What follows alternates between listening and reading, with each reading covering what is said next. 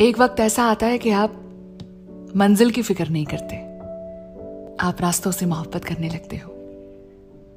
सफ़र का मज़ा लेने लगते हो। हर मोड़ से आपको इश्क होने लगता है। और आप बस हवाओं के साथ बहने लगते हो। शायद ज़िंदगी यही है। कहाँ पहुँचना है, क्या होगा, वहाँ की फ़िक्र क्यों करें? क्यों ना अभी जो यहाँ है, इसका मज़ा ले। इन रास्तों में इन हवाओं में। यही तो खो जाना है। शायद ये खो जाना ही असल पाना है।